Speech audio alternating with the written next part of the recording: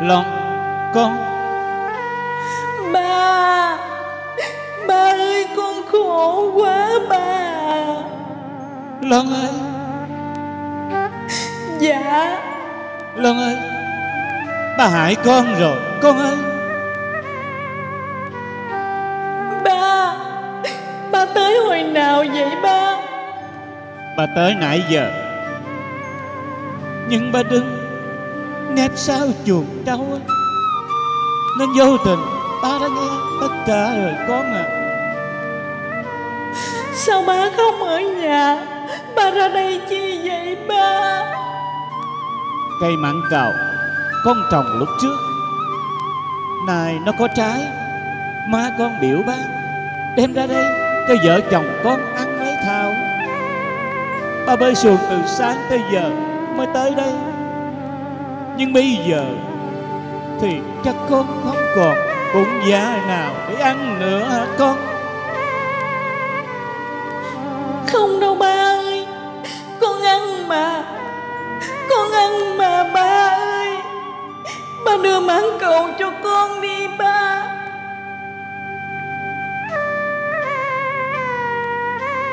Đây nè con Ăn đi Con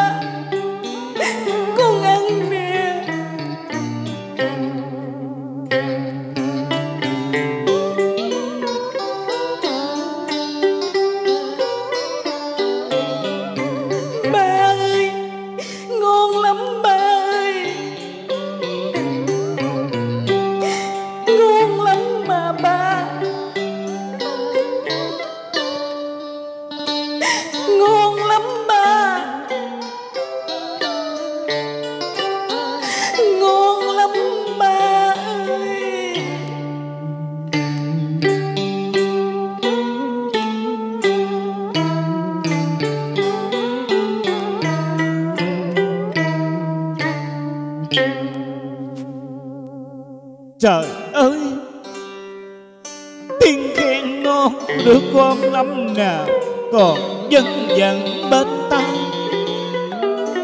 Thì được cho miếng mặn cầu xin, Chín cây ngọt liềm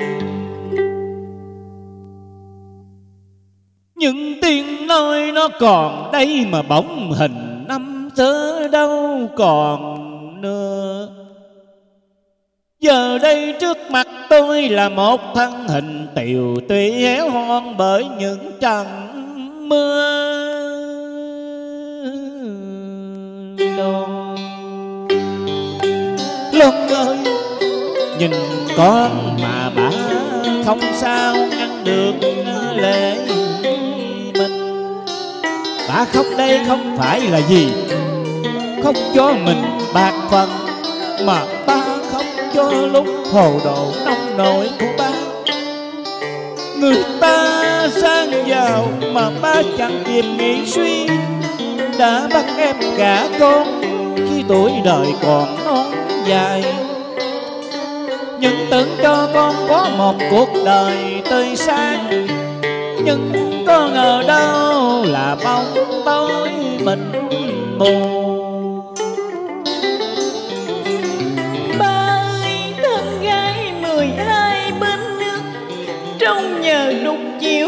Chấp nhận cho mình mà ba. Xin ba đừng tự trách mình như vậy. Giả lại chỉ tại má chồng con nóng giận nhất thời thôi. Chứ thật ra, má chồng con cũng thương con lắm ba. Và chồng con cũng vậy nữa. Nếu họ thương con thì đâu xem con như cơm con thì con đâu ăn luôn, bên vỉa hè.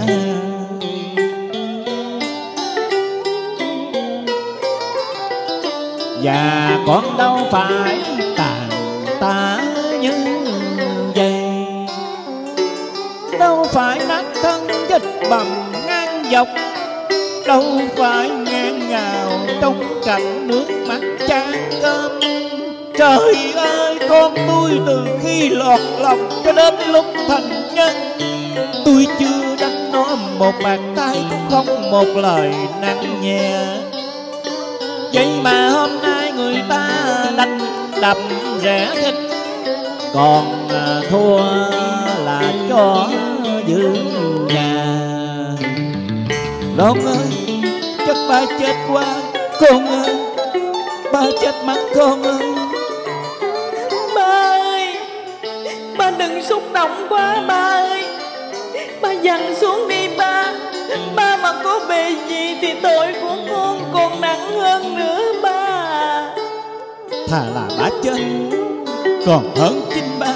Ở đây con vào bông tôi Giờ đứng nhìn con kêu gào Mà ba chịu bó tay như vậy Ba Ba ơi có cha mẹ nào mà không muốn con mình được hạnh phúc ấm con đâu một chứ ba như trăm ngàn vết chém. Ơn nghĩa sanh thành nuôi dưỡng thương yêu, Con chưa báo đáp mà giờ đây làm cho mẹ cha đau khổ. Từ cổ chỉ kim đã tạo thành quy lực bến nước mười hai đục chiều trong nhà. Con đã biết liệu sức của con. Con xin ba đừng vì con mà sầu bi khổ lì. Nếu lỡ xảy ra những điều đáng tiếc, Tội bất nghĩa con khờ còn trọng chất thêm sâu. Lon ơi Bây giờ ba biết làm sao đây con?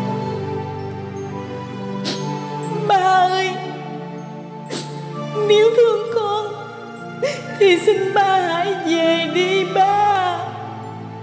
Ba về thì đành rồi.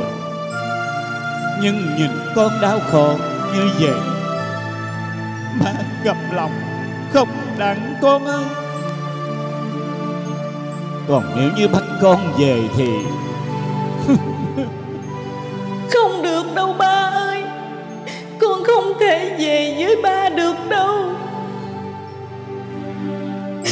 Vì của hồi trả một Thì phải đền mười. Gia thế mình bây giờ Thì ba cũng biết rồi đó. Bán cả nhà, cửa ruộng vườn Thì ba đâu có ngại. Nhưng ba chỉ ngại miệng đời hai tiếng thị phi. Nó sẽ kéo dài, muôn thuở. Con gái có chồng mà bị trả về là thứ gái hư.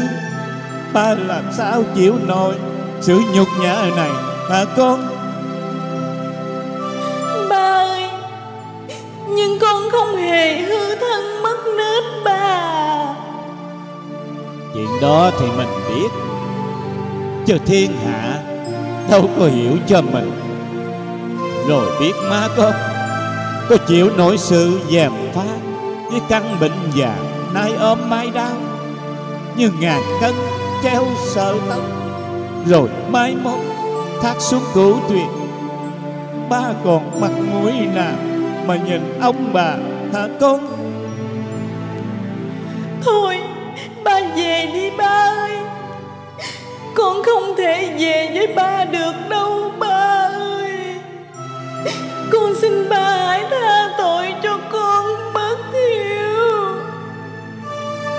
Thôi thì cuộc đời Có mấy mươi năm. Con ơi Hãy ráng Chịu đựng Ráng chịu đựng cho qua Cái kiếp này nghe con. Con biết Con biết rồi ba. Ba về nghe con. Ráng mà bảo trọng Thân mình. Ba không còn cách nào Để cứu con rồi. Con ơi Ba về nghe con. Ba Ba ơi xin ba hãy nhận con một lại này Coi như là báo hiếu. Đừng lên đi con. Ba về. Không biết chừng nào Ba mới gặp lại con ơi Lon ơi. Miệng đời ác lắm con ơi. Ráng cẩn thận giữ gìn. Đừng để gia đình mình Mang tai tiếng. Nghe con. Ba về. Ba về. Ba. Trời đất mênh mông. Mà con không có đất dung